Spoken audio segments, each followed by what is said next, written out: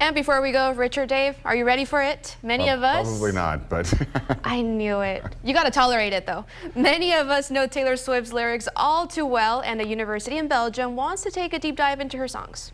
The school is launching a new literature course dedicated to Come the on. literary merit of Taylor Swift's discography. The course is called Literature, Taylor's Version, which is, of course, a nod to the artist's re-recorded album titles. The professor's blog Swifterature compares the pop star's songs to writers including Sylvia Plath, Charles Dickens, and William Shakespeare. You might want to sign up right away, but it's a cruel summer, so students will have to oh, wait until the fall. That was a meme, literally, is like every time that news people cover it, they have to put in the name of a song in the story. And we you did. know who did it? I did. There you go. Why you gotta be so mean? well, thank you so Jake much for Gyllenhaal, joining us. where are you? it's actually Harry Styles' turn now. thank you so much for joining us.